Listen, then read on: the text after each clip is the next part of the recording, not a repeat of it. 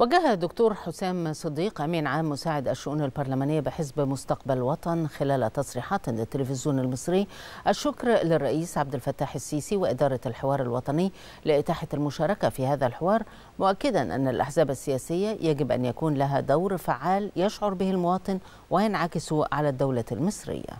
الأحزاب السياسية هي مقوم الرئيسي في الحياة السياسية في مصر وليها باع طويل ودور كبير في الحياة السياسية في الدولة المصرية. بالنسبة لطاولة المناقشات النهاردة يعني ما حدش يختلف من جميع الحضور وجميع المشاركين في المناقشات إن الأحزاب السياسية لازم يبقى ليها دور قوي ودور فعال يشعر به المواطن المصري وينعكس بالإيجاب على الدولة المصرية.